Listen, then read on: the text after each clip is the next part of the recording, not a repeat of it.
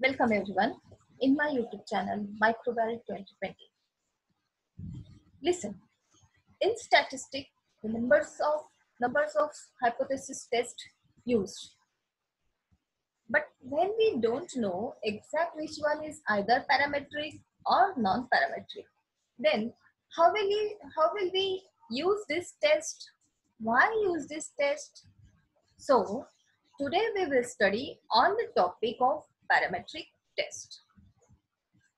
And one more thing, the questions on this different test come in the competitive exam. So clear the basic concept of parametric test. Okay. Now the introduction, the parametric uh, introduction.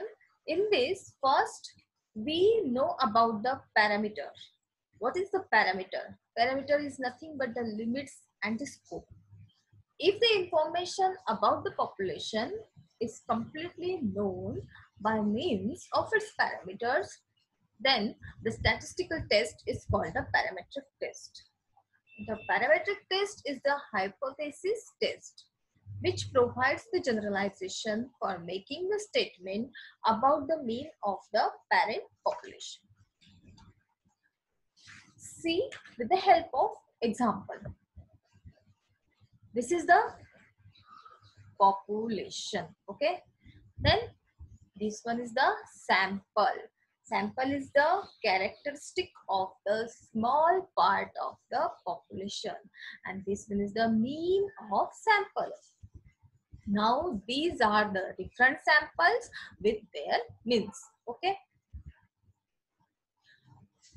And now what population mean? What is population mean? Population mean is the mean of all the different sample means. What is the exact concept?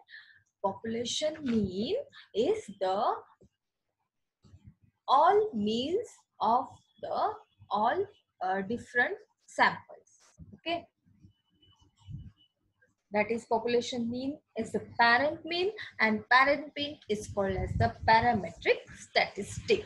This all the this all about the population means that is the parametric statistic. Okay.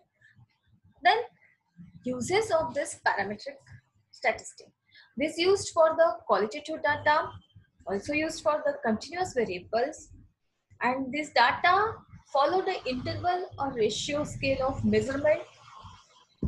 Also data uh, should follow the normal distribution. Normal distribution is the pop when the population is normally distributed with fixed mean. See, this is the curve.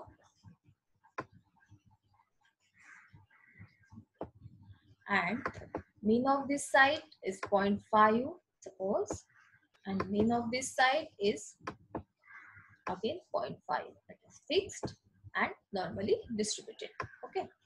And then population mean is equal to the positive 1 this is the fixed and normally distributed.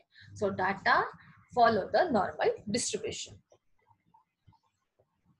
Then assumption specific assumptions are made about the population parameter. That make the assumption about the parameters of the population from which one's data are the no, drawn. That is we have the data.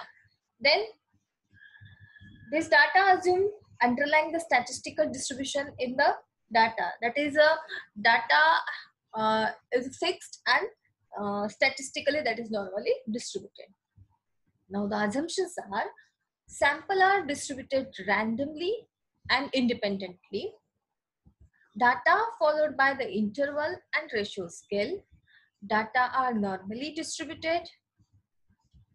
Data does not have any outliers. When our data follows the NPC, then data not show any outliner. In homogeneity of variance, in assumption shows the homogeneity of variance is must. If we take the different samples from the population, then the statistical terms between these samples are similar or homogeneous. That is the homogeneity of variance is must.